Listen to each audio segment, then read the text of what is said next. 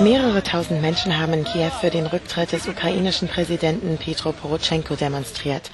Angeführt wurde der Protest von Georgiens Ex-Staatschef Mikhail Saakashvili. Er war 2015 auf Einladung der Regierung Poroschenkos in die Ukraine gekommen.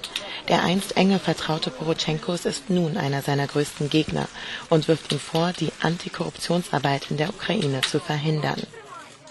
Saakashvili selbst wurde erst am vergangenen Montag nach einer vorläufigen Festnahme freigelassen. Nach örtlichen Medien nahmen bis zu 10.000 Menschen an der Demonstration teil.